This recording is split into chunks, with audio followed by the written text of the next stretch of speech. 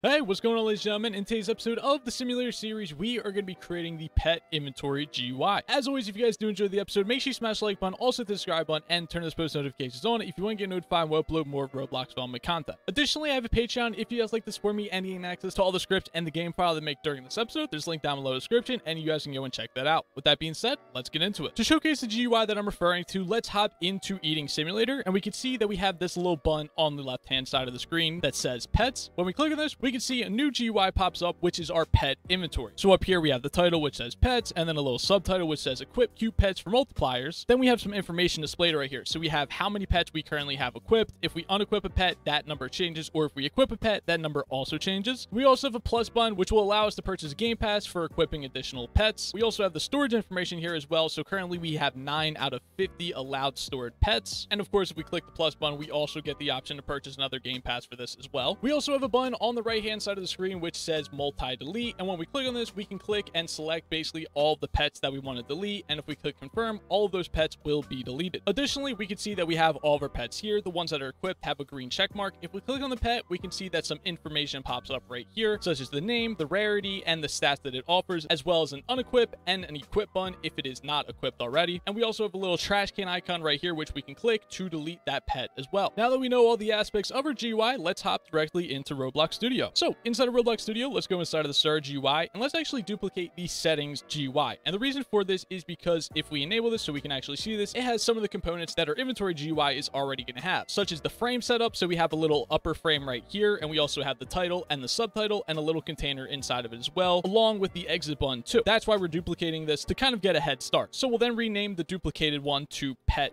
inventory. And then let's go inside of the GUI, inside of the frame, inside of the title, and we can change the text from settings to pets. Then inside of the subtitle, let's change this text to equip cute pets for multipliers. There we go. Then for the background color of the title and the frame, we can go ahead and set the background color of this to sort of an orangish color, and we'll go with that. Now, for the container frame, we're going to want to make this a little bit smaller because remember, we're going to put the info sort of between this and the subtitle. We also want to make it a little bit smaller as well because on the right side of the GUI, we're going to have an info frame displaying information about the pet when we actually select them. So we actually might make this a little bit smaller. I think that is pretty good right there. And also, we'll stretch this out a little bit larger larger towards the side, so like that. Now, I think that's pretty good. Then let's go ahead and modify the container background color to be a sort of darker orange, so something like that looks pretty good. Then we have the exit button, and we'll actually duplicate it and rename the new one to delete button. It could be multi-delete because that is what this button's going to be. And then what we're going to do is basically resize it a little bit to kind of appear as they have it. So right along here, I think that's pretty good. We could make it a little bit larger if we wanted to. Whatever you guys want to do. Then for the actual text, we're going to say multi-delete in all caps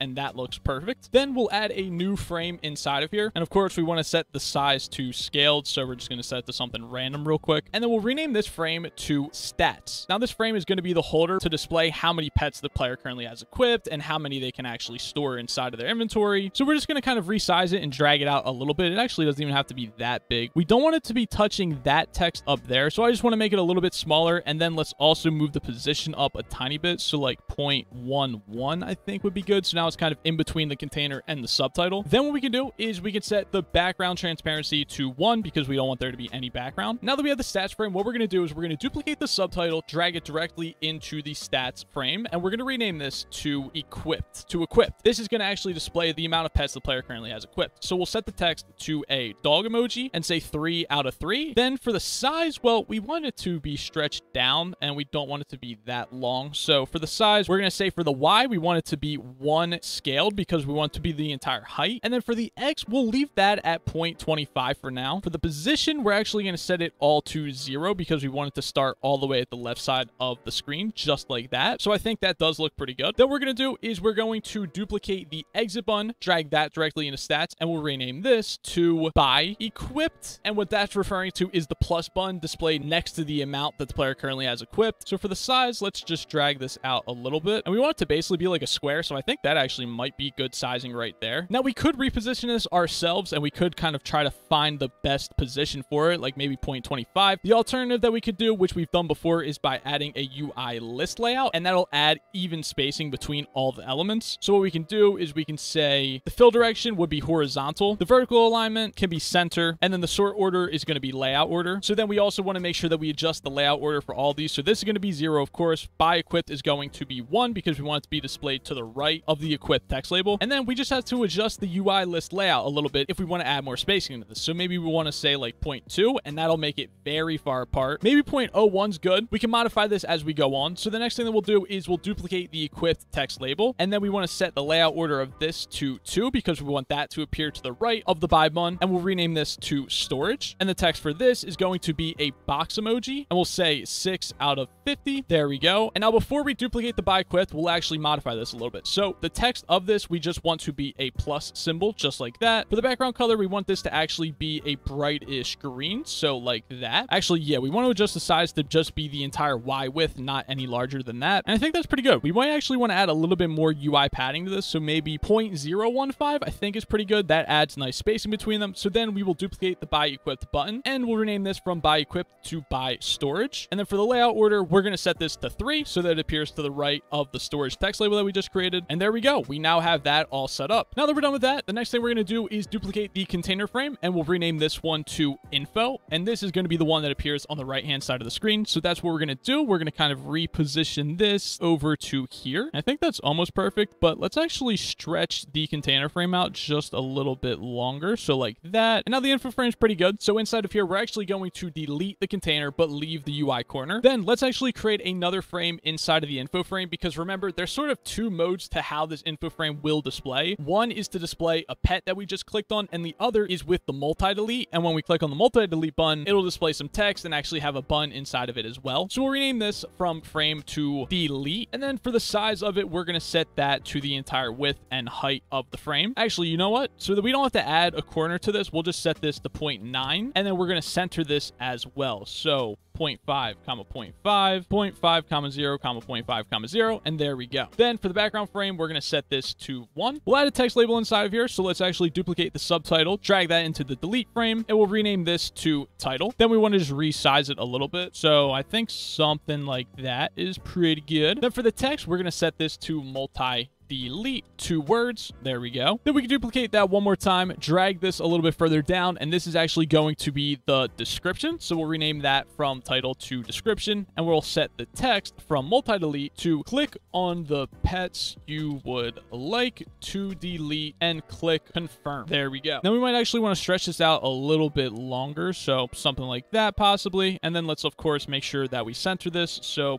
0.5.5 on the X. That looks perfect. Then let's duplicate this one more time and we'll rename this from description to selected as this is going to be the selected text. So we'll drag this a little bit further down below the description that we just created. I think that's pretty good. And we'll set the text of this to pets selected colon and we'll just say three for now. And then for the text color, we actually want this to be kind of a green. So I don't know, like that kind of green, that could be good. Then we'll duplicate the exit button once again, dragging it into here. And then we just want to resize this a little bit. So let's actually drag this further down and resize it to something like that. Then for the position, let's of course make sure that we center this. So just like that, now it's centered. Then for the text, we'll say confirm. For the background color, we want this to of course be a green as well. And realistically, we probably want it to be the same green as the greens that we were using earlier. So we'll use that green right there. And there we go. We now have the confirm button. Let's also make sure we rename the button from exit button to confirm button. And now we have the delete frame all done. Then what we can do is we can duplicate this and we'll rename this to pet. Let's make delete not visible anymore so we don't see that. And now we'll start working on the pet frame. So the confirmation button that we have right here, we can actually keep this and we'll rename this to equip button. And then of course we'll set the text from confirm to equip. Then what we can do is we can actually look inside of our shop GUI that we made in our past episodes. Looking inside of here, we can go inside of the frame. We have the info frame. And then inside of here, we pretty much have all the components that we're also going to be using for this exact frame as well. So what we can do is we can highlight all of these, copy them by hitting and control C, and then we can paste them directly into this frame as well. So now that we pasted them in, let's go ahead delete the title, the selected, the description, and the buy button that we just copied over from the shop. We can also delete the image label as well, and now we have a viewport frame. Let's set this to visible and just set the background transparency to zero so we can see it for a second. All right, so inside of here, we have the viewport frame, which is how we're going to be displaying the pet. Then we have the pet name, so let's actually rename this from item name to pet name, and we'll set the text just to a random pet name, so we'll say Fox. And below the pet name, we actually want to also display the rarity as well. So let's make the stats frame just a little bit smaller. I think we'll resize that in a minute, but let's go ahead and duplicate this, and then we will get the pet rarity, and we'll rename this to rarity. Then for the text, we're going to set this to common, and we'll set the text color to sort of a grayish color, so just like that. Then for the stats frame, we're going to set the background transparency to 1 because we don't want anybody to see that. Inside of the stats frame, we'll rename stat to food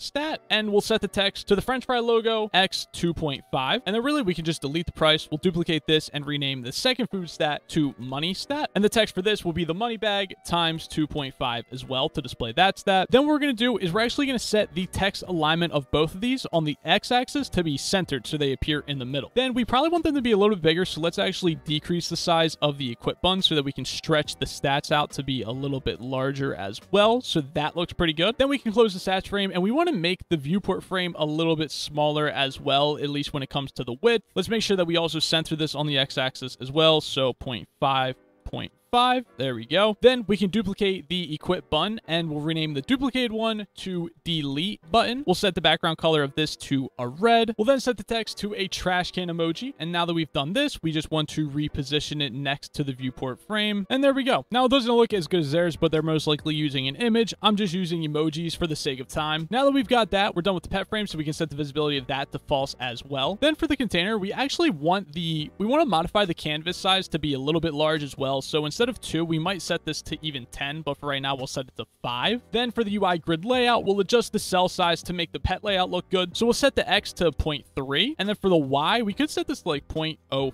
0.5 maybe. We'll probably actually increase that, so maybe 0.075. It depends. Let's actually duplicate this a couple of times. And now we see we have six displayed on one screen. The next thing we want to do is we want to modify the cell padding a little bit because we want there to be a lot smaller of a space between them. And we probably even want it to be smaller than that, so maybe 0.001. That's pretty small. We probably want it to be a little bit bigger, so 0.005. And I think that looks good. For the X, we want it to be around the same thing, so 0.005 as well. And I think that's actually pretty good. Then for the size, we can adjust this a little bit, so maybe 0.32 instead of just 0.3. 3. And for the Y, we could maybe make this a little bit larger as well, so maybe just 0.8 instead. And we could keep going if we wanted to, maybe like 825. And I think that looks pretty good. The next thing that we'll do is we'll actually delete all of these templates. We want to actually go back to our shop GUI. Now, instead of being inside of the shop GUI, we actually want to duplicate the template button that's with inside of the manager, and we want to drag that directly into our container frame. Now, with this, we're going to set the background color from this color to be a lighter orange, so something like that. Then inside of here, we're going to set the background color of the holder to actually be a darker color, just like that. And then inside of the holder, we have the viewport frame, which will actually display the pet. We don't need the image label, so we can delete that. Then for the item name, we'll rename that to pet name. And that actually looks fine. If you wanted to make it smaller, you can, but we'll just set the text to Fox for right now to see how it looks. For the equipped, we can set this visibility to true just so we can see it. And we actually want this to be more positioned towards like the bottom right of the template. So something like that. We could make it larger if we wanted to too. But for the text, you could use an image, but for the text, we're just going to use a green check mark like that. And now we have the template all set up. So if we duplicate this template a couple of times, we can see how it would look. And we can see this is how nine pets would be displayed. And that does look pretty good. If we duplicate them more, we can see how more would be displayed as well. And that all looks pretty good. I think the final thing that we need to do is let's delete all of the existing templates. And inside of the holder, we'll duplicate the equipped and we'll set this to delete. And remember, when we go into the multi-delete mode and we select a pet to be deleted, it will actually display a red check mark over top of it. But the only other emoji that we have is like a blue one. So we'll just set it to that. Then for the position, we want this to appear basically at the left-hand side of the screen. And I think that looks good enough. If you guys want to make it look better, you certainly can, but I'm just showing you guys how we can make this possible. Now, the last thing we need to do is add the button on the left-hand side of the screen, which we will click to display the pet inventory. So if we look inside of our Star GUI, we see that we have the button screen GUI, and inside of here, we have a frame called button holder. Now, this holds all the buttons on the right-hand side of the screen. So what we're going to do is we're going to duplicate this and rename this to left button holder. Now, the naming scheme scheme isn't great, but the reason that we're not renaming the original one to right button holder is because if we rename that, then we'd have to go into all the different scripts that we use this frame in, and we'd also have to change the name in there as well. So that's why we're not renaming this. You can if you want to, but I'm choosing not to. Then within the left button holder, what we're going to do is we're actually going to delete the UI list layout, and we're going to add a UI grid layout because all the buttons on the left side are actually the exact same size. Then for the positioning, let's go ahead and set the X positioning to zero because we want that to appear all the way on the left. And then we can kind of just mess around this by just dragging it around. So for the width, we want it to be a little bit smaller than the currency frame. So I think something like that's pretty good. And then we just want it to be a little bit taller. So that is probably good right there. Maybe we want to make it just a little bit smaller on the side. I don't know. I think that's decent. We'll see how that looks. The next thing we want to do is with the UI grid layout. Now for the buns, there are two rows and three buns in each row. So for the X cell size, we're going to want this to be about like 0.32 comma 0 comma 0.5 comma 0. We'll see how that looks. And that actually looks pretty good. I'm not going to lie. Then we want to adjust the cell padding. And for right now, we'll just set this to 0.05 comma 0 comma 0.05 comma 0. So there's slight spacing in between. We might even want to make it a little bit smaller, like maybe 0.035 and 0.035. So I think that actually looks pretty good. Now we also want to adjust the cell size a little bit more because at 0.32 on the X, we see that we're only able to fit two in each row. So what we want to do is we want to set this to like 0.31